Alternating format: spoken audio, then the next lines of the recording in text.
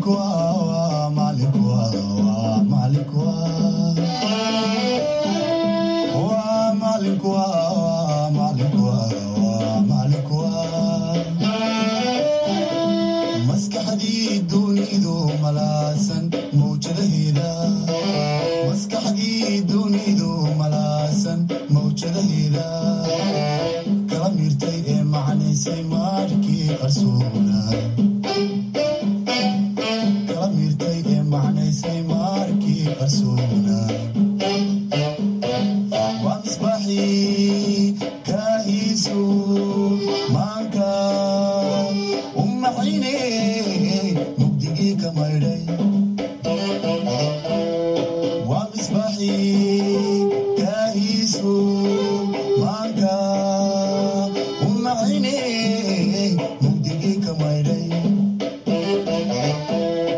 bismi illaahi raxmaani raxiim assalaamu calaykum waraxmatullahi wabarakaatu arday waxaynu bilaaban doonaa cashirkeenii afaraad.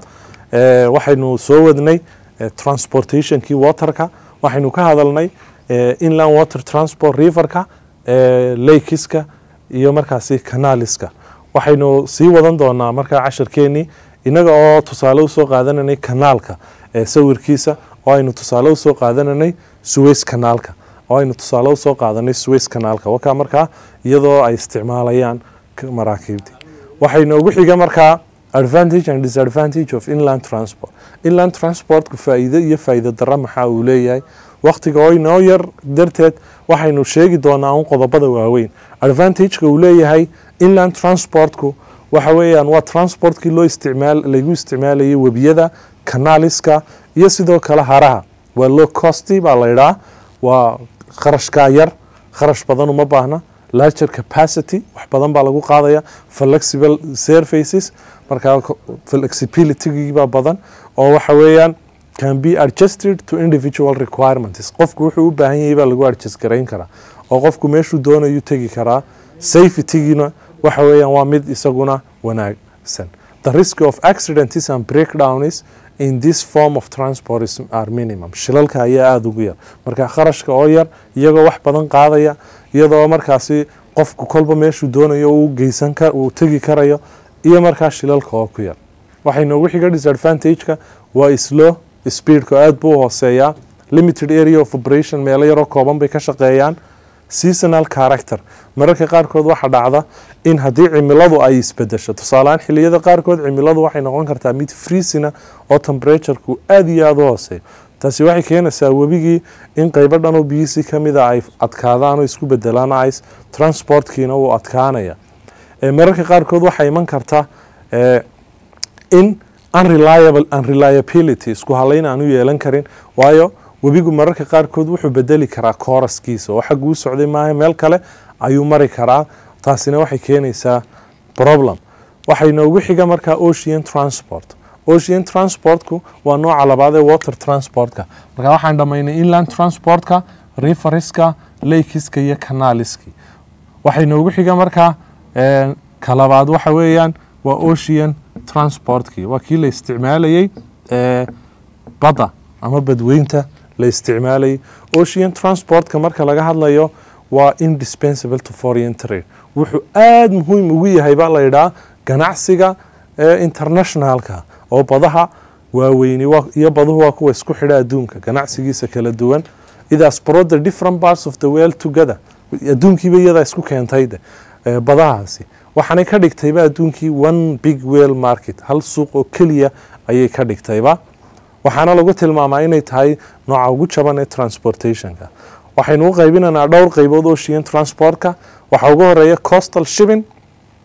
Marka coastal shippingku waa one of the most important means of transport. Waa ku mid ka mida kuwa ugu muhiimsan for garing goods. In alaabta laga qaado hal dal from one part qayb to another qayb kale in a country dalkii cheaper waa jaban tahay and quicker more degdeg nooc degdeg oo gaadiid weeyaan.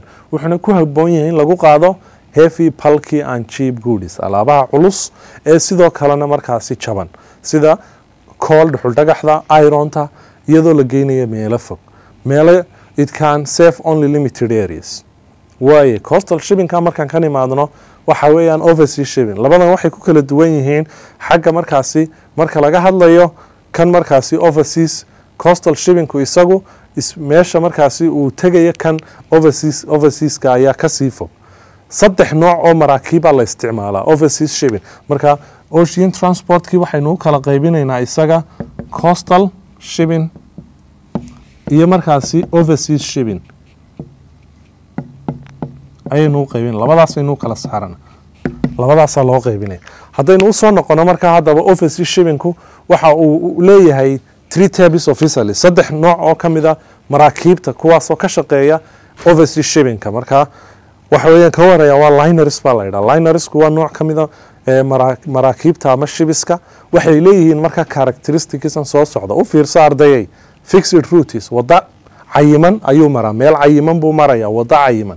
Wakti go-an buu baxaya lacag go-anna wuu qaadaya had iyo jeerna markaasi hal under single ownership shirkad keliyaa leh ama qof keliyata ayaa leh. Marka meeshay meelbay meel bay ka dhaqaaqaan la yaqaanaa meel bay tagaan oo la yaqaanaa wado la garanayay maraan wakti go-an bay baxaan lacagtana markaa ay jaaj garayaanna waa la yaqaanaa. Liners baa loo yaqaanaa kuwa. Trumbisku waxay totally ka soo horjeedaan lineriska oo lineriska haddaynu nidhi waxay leeyihiin fixed rutis kuwani ma laha fixed rutis no fixed rutis baan nidhi. Waxaa kaloo aan nidhi waxa weeyaan kuwani xitaa ma laha jadwal. Ay ku baxaan kuwii hore jadwal bay lahaayeen. Keliya kuwani waxay baxaan marka la buuxiyo uun.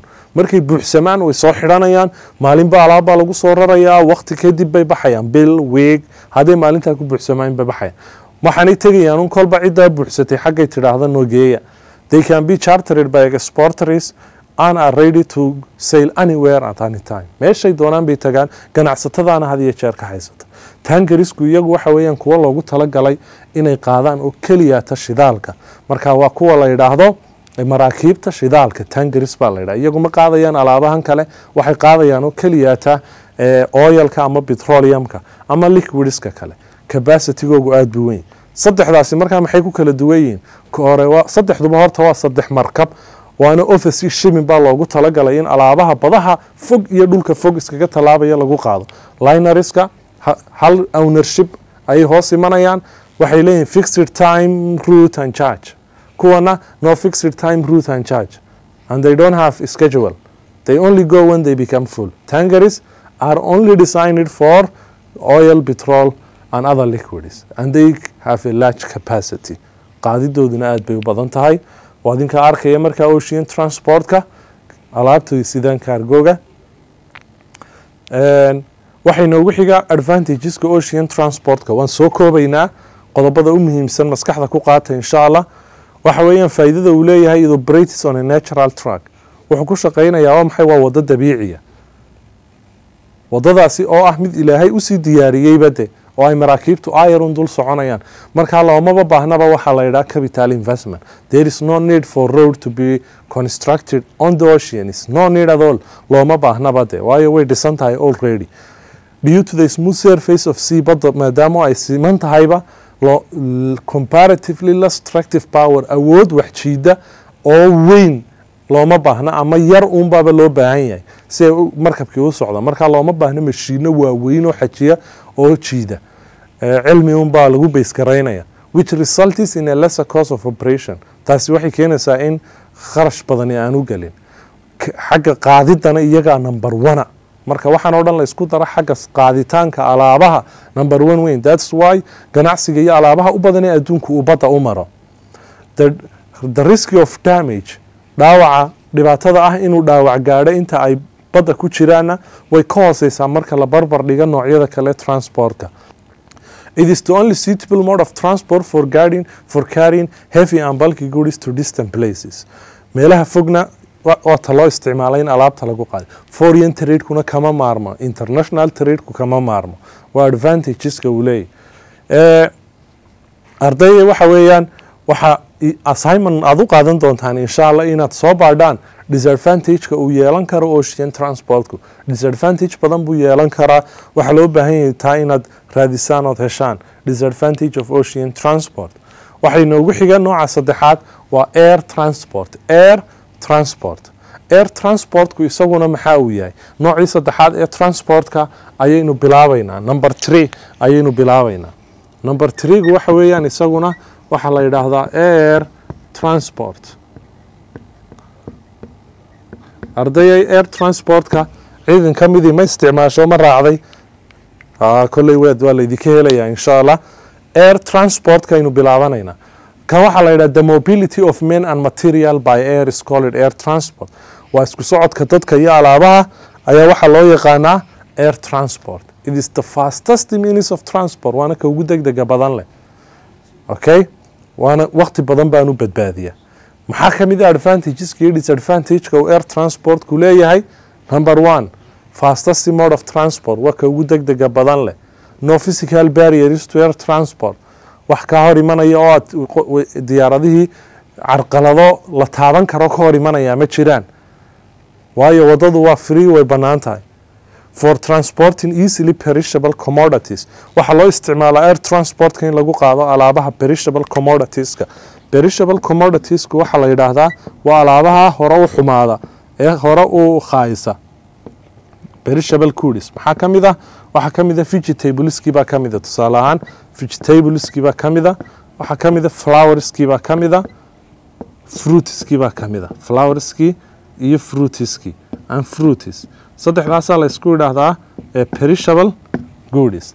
Marka air transport is mainly used to carry the perishable goodies vegetables flowers and and fruities.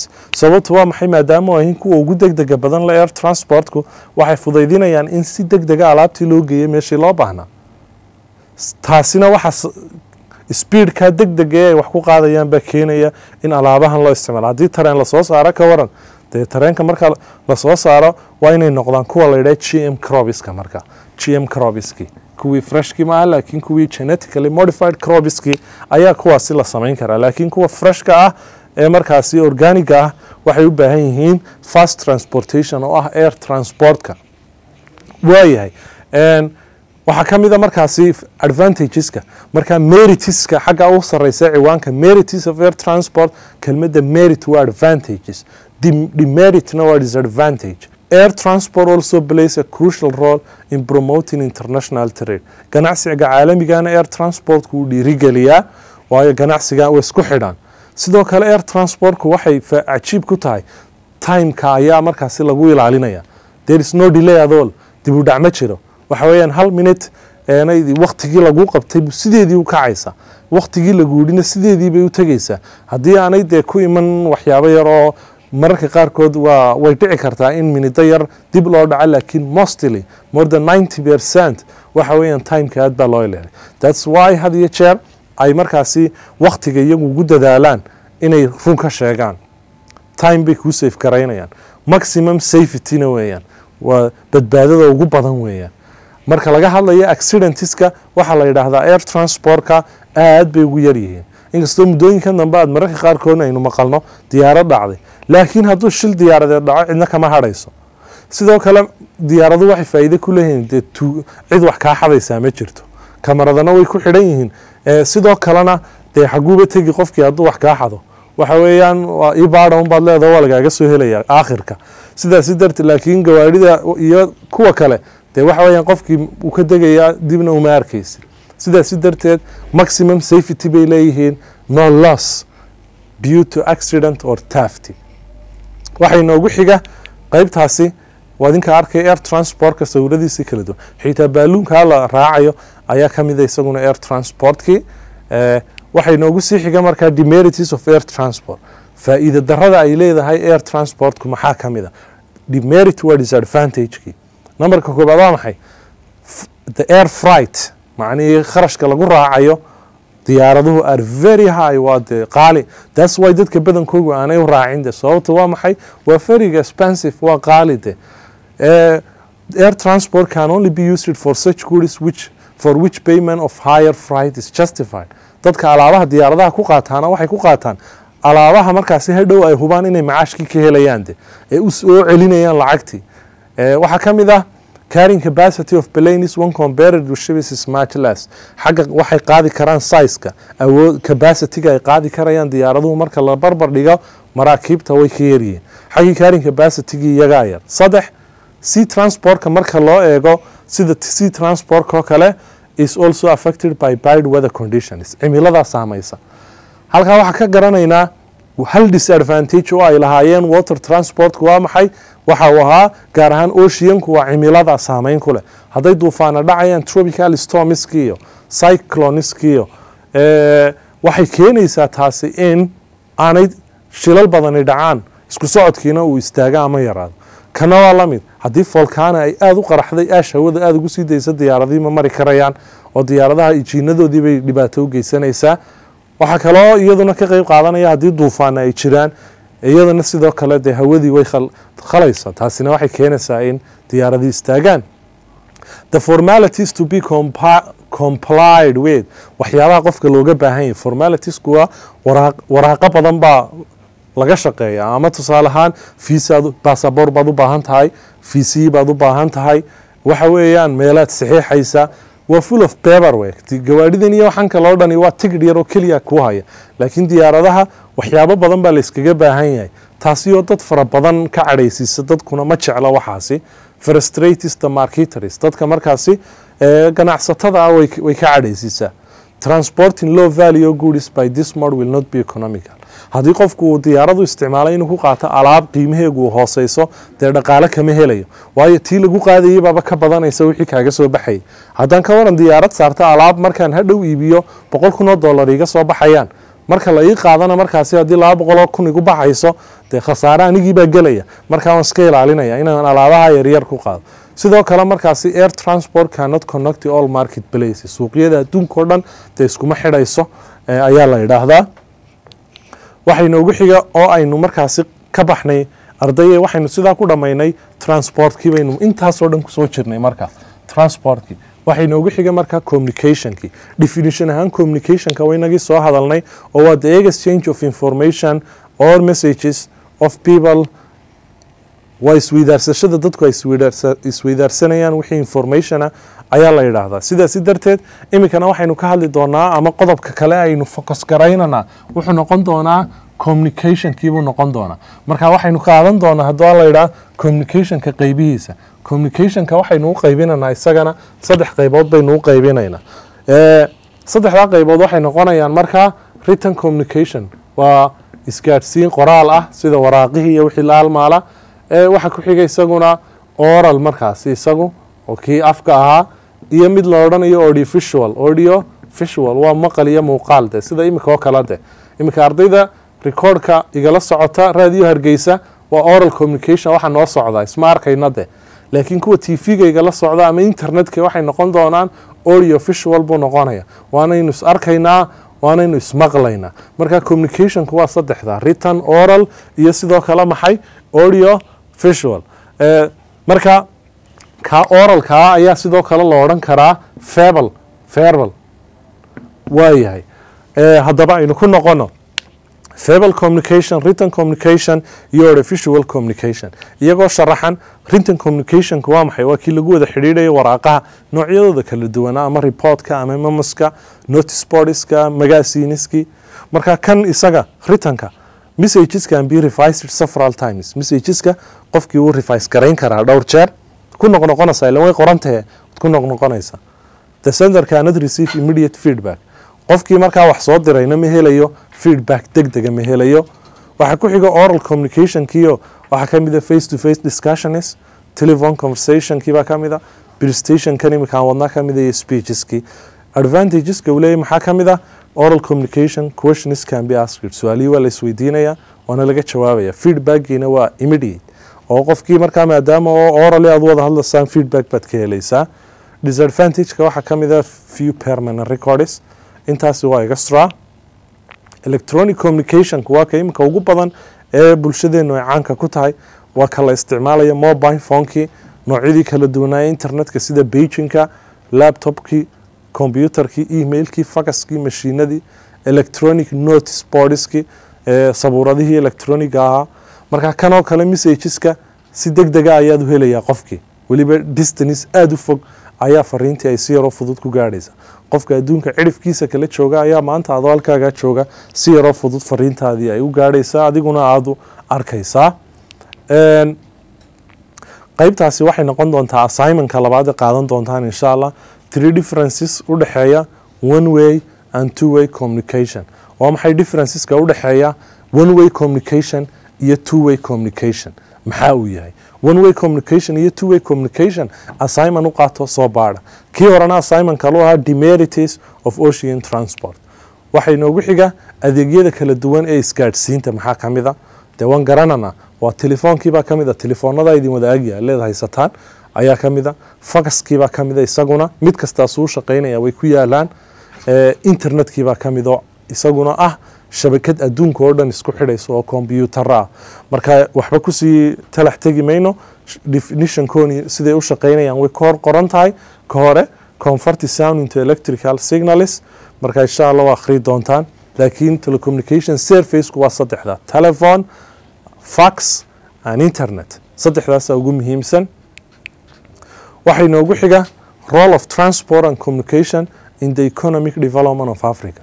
Horumarka africa transportkii communicationku xagga dhaqaalaha sidee bay uga qeyb qaateen? Role of transport and communication in the economic development of africa.